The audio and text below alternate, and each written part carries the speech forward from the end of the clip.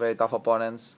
So be here, winning the two previous Masters Thousand is something great. You know, at the end, it's not great because I I am confident for here. It's great because I won two very important events for me, and here is a different event. I'm gonna keep trying my best, and I hope to be to be ready for that.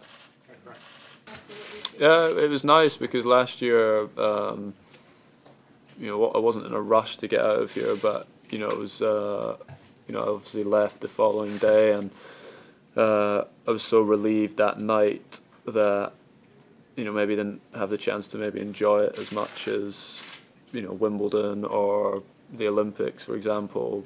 Um, you know, it was just I don't know, there was so much relief last year that I wasn't necessarily enjoying it as much as maybe I should have. So when I actually came back and practiced on uh, on the Arthur Ashe court, you know, the memories kind of came back, and that was nice.